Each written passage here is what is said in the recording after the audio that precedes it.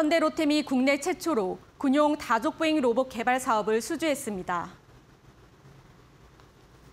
현대로템은 지난 10일 방위산업기술지원센터와 대테러 작전용 다족보행 로봇 신속 연구개발 사업 최초 협약식을 가졌다고 밝혔습니다.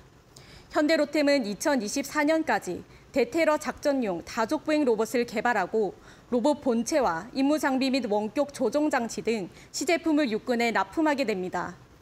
해당 로봇은 사족 보행 로봇으로 야지의 험로 및 장애물 구간에서도 자유롭게 기동할 수 있으며 원격으로 조종이 가능합니다. 회사 측은 위험한 작전에 사람을 대신해 투입해 아군 인명을 보호할 수 있을 것으로 기대하고 있습니다.